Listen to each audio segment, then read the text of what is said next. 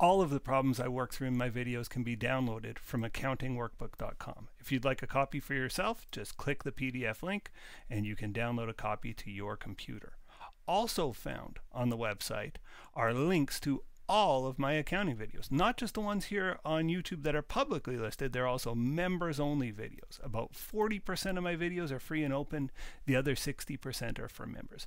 If you click one of the members links, it'll take you to a page that looks like this, says members only content. If you'd like access to that content, just hit the join button. Okay, let's jump into the problem. Before I begin problem 8.3a, I want to pause here with a word of encouragement.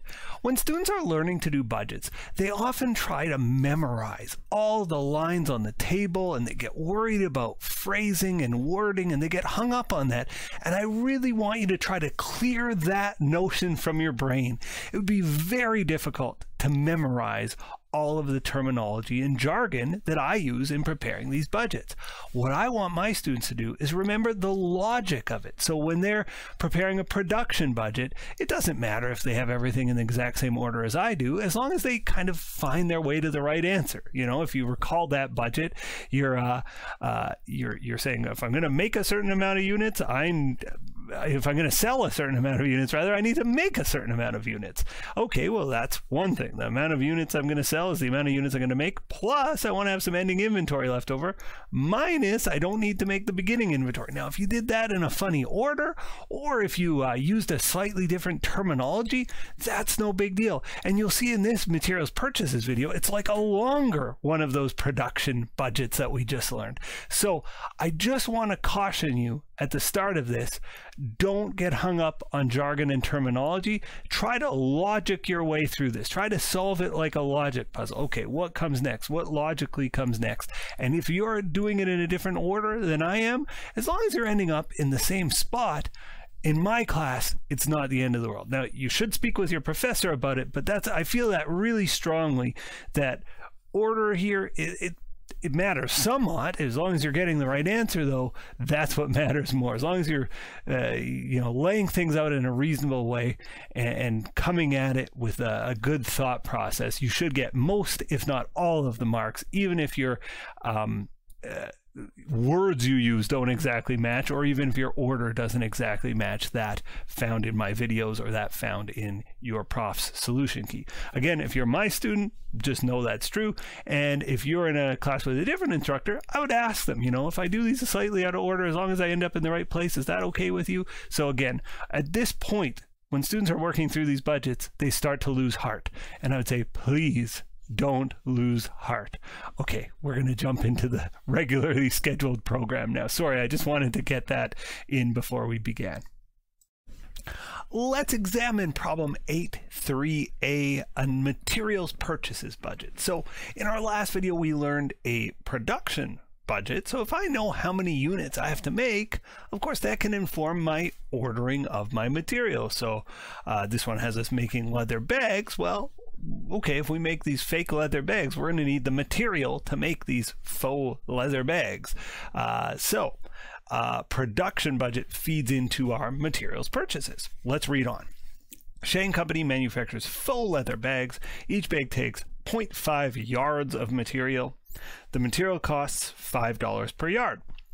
The company had 1,500 yards of material on hand at the beginning of the of January and required enough ending monthly materials to be on hand to meet 10% of the following month's production requirements. So we don't want to run out of yards of faux leather. We want to have 10% of the next a month's needs kind of on hand. Very similar to a production budget, actually, if you think about the, the phrasing of that. The company's production budget follows. So they prepared a production budget. That's what we learned to do in problem 8.2. And these are, this is the numbers coming out of that.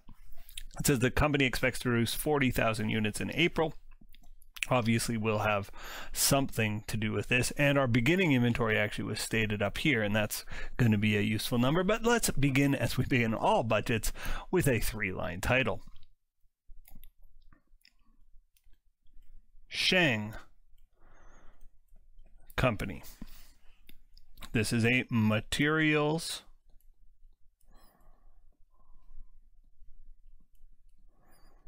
purchases budget.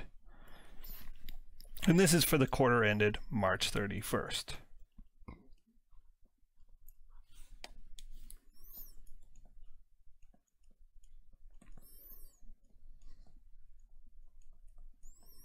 Okay, we've got ourselves a beautiful title.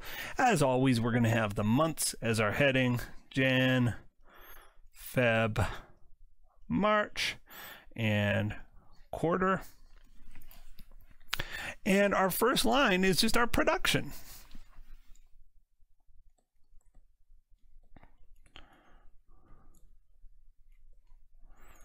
that sort of given numbers up here, right? January, February, March quarter. So again, if I'm going to make 30,000 faux leather bags, that's a starting point.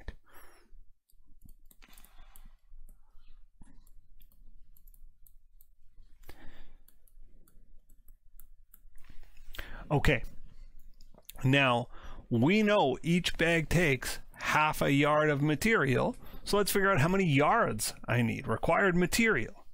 So again, required production is 30,000 faux leather bags. Each bag takes half a yard of material. We're interested in materials here. So how many yards of material? Well, again, uh,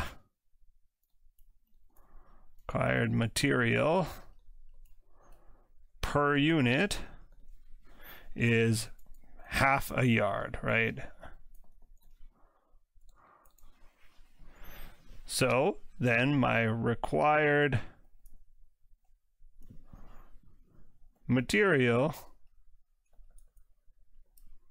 in yards in this case 30,000 times 0.5 I need 15,000 yards of material to satisfy January's production 35,000 times 0.5, I need 17,500 yards of material. 38,000 times 0.5, I need 19,000 yards of material. 103 times 0.5, what is that? 51,500 yards of material. So again, it's like, you know, if I know each batch of cookie takes cookies takes 10 eggs and I'm making 100 batches, well, that's a thousand eggs, right? Is an example. So that's what we're doing here. We're saying I'm making 30,000 of these bags. I need 50,000 yards of material, 15,000 yards of material. Okay. So not only do I need that, right? If I'm going to make 30,000 faux leather bags, not only do I need the 15,000 yards of material, I also need some left over for next period. And the question had said, we want ending monthly materials to be on hand to meet 10% of the following month's production needs. So I'm going to need 17,500 uh, yards of material in February. It means I want 10% of that extra sitting on hand in January so I don't run out. So very similar again to a production budget. I'm going to add my desired ending materials inventory. I'll just call it desired ending materials here. And it's 10% of the next period. So 10% of 17,500 is 1750. So our total required materials, our total material needs rather,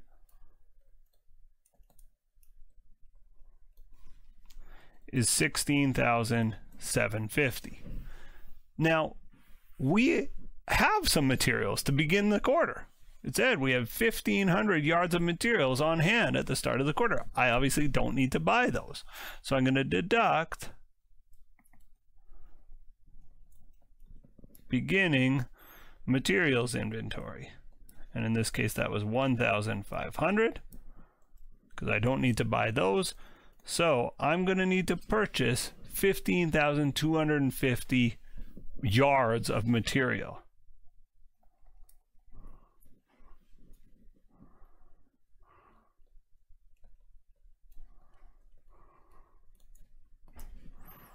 So required materials, I mean, to be purchased could fill in here. I, I just don't have the room to write it, but required materials to be purchased 15,250 yards. Now, if we have enough information, we would like to use a dollar value. And in fact, the question says prepare materials budget, provide both the number of yards and dollar value of the inventory to be purchased. So again, required materials, maybe I should put this in here just because the uh, these lines look the same, but this is required materials to be purchased. And it's 15,250 yards. Now, in dollars, material costs $5 a yard, so cost per yard, five, and that's going to be five across the board when we when we get to it for these other ones. 15,250 times five, 15,000 times five is 75, so 76,250. That is our total materials cost for January. And again, in the context of what we've been doing, right? And the first budget we learned was a sales budget and a cash collections budget. Well, this is going to be money out. We're going to spend $76,000 in materials in January. Do I have it? Well, if I look at my cash collections, that can tell me if I have enough money coming in to pay the inventory purchase bill. I sure hope I do. Uh, let's continue on though. Let's do February. The desired ending materials for February is going to be 90% oh, sorry, 10%, pardon me, 10% of the following month. So 10% of March is 1,900. 17,500 minus 1,900 or plus, oh my goodness, 17,500 plus 1,900 is 19,400. We're going to deduct the uh, beginning materials. Now, the beginning materials for February is the same as the ending materials for January. 19,400 minus 1750 means we need to purchase 17,650 yards of material in February. And again, hopefully we can get that $5 price still. Well, hopefully it's cheaper. The total amount we're expecting to spend on inventory or in, on materials rather for uh, March is $88,000 for February. My goodness. Let's move on to March. Our desired ending materials inventory for March. It's going to be 10% of April. Well, we don't have April, but we can figure it out. The company thinks they're going to make 40,000 units. Now, if you took 10% from here, you'd be wrong. Why? Because it's 10% of the yards of material. 40,000 units times 0.5, just like we did at the top here, where we said everything was multiplied by 0.5, means it's going to take 20,000 yards of material, and we're taking 10% of that. So it's 2,000. So, okay, we're going to want to have 2,000 yards of material on hand at the end of March to satisfy April's needs. 19,000 plus 2,000 is 21,000. Our beginning materials was 1,900. So the ending materials for the month before becomes the beginning material for this month. So February 28th is the same as March 1st. 21,000 minus 1900 is 19,100. 19,100 times 5 is $95,500. Okay, this was a bit of a longer journey than the first few uh, budgets we've done, but we're almost there. We got to do the for the quarter, which again is similar to a totals column, but it's not quite a totals column, is it? Our desired ending material for the quarter is, well, the last day of the quarter was March 31st. So that's the end of the quarter. So we just take the March data for that one. We just say, okay, it's 2000. 51.5 plus 2,000 is 53.5. Now you'll notice it doesn't total, right? If you add from left to right here, that doesn't work. If you add from left to right uh, for total material needs, that doesn't total. It's just not a total. It's for the quarter. Uh, the beginning inventory for the quarter, uh, the beginning materials was 1,500. That leaves us 52,000. 53.5 minus 1,500 is 52,000. At a cost of $5 per yard, 52 times 5 is $260,000. And at that point, we've done it. We have prepared in good form a materials purchases budget. There we have it. I hope this video was very helpful to you. And if it was, I hope you'll help me too. I'm chasing, I'm chasing 100,000 subscribers, and I hope you'll help me on that journey. Have a great day, everybody. Bye for now.